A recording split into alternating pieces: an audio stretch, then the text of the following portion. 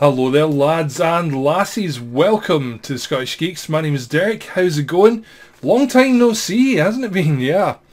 Well recently I managed to get my ability to stream to this account back uh, because there was some sort of an issue with an old video of mine, like we're talking five years old or something, and they said there was like nudity in it. There was absolutely no nudity in it. It was a vlog like this and uh, the YouTube um, automated services decided that uh, no, no, no, it was a naked video. And then also when I appealed to a human person, they confirmed apparently there was nudity in it when I was sitting there in a t-shirt talking like I am right now.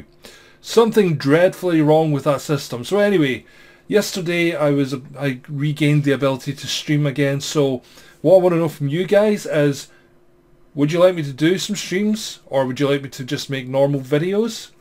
Because I think maybe having a chat with you guys on a one-to-one basis might be a great idea. Maybe something that might be fun.